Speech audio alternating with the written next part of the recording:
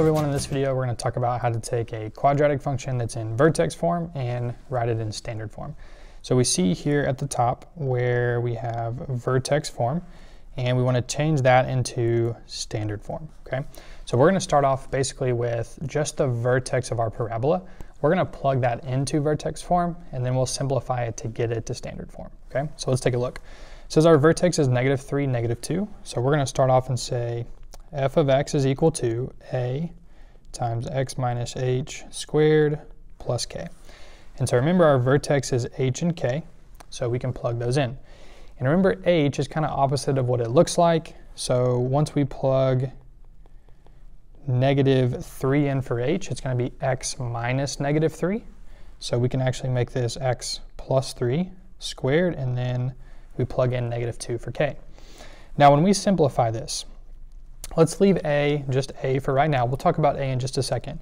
But look what we have right here in the middle. We have the square of a binomial. So if you remember from previous videos, this factors as what we call a perfect square trinomial. If you don't remember the pattern, then you can always just go over here and FOIL it. So let's say we have x plus 3 times x plus 3. So we get x squared plus 3x plus 3x plus 9 combine in the middle, so we get x squared plus 6x plus 9. Okay, so x plus 3 squared, the square of a binomial, factors as the perfect square trinomial of x squared plus 6x. A f of x equals a times x squared plus 6x plus 9, and then minus 2 on the end.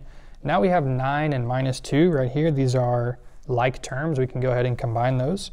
So let's say f of x equals a times x squared plus 6x and then plus 7, right? 9 minus 2. Now with a, a can really be anything we want it to be. Uh, we can plug anything we want in for a because we're just going to multiply it, and that's just like vertically stretching or shrinking this parabola, but the vertex itself is not going to change. It's still going to be at negative 3, negative 2. Okay, so if I have a right here, I could just let a equal 1. So if we plug in 1 for a, then that just takes a away, right? So if I plug 1 in right here, now I can say f of x equals x squared plus 6x plus 7.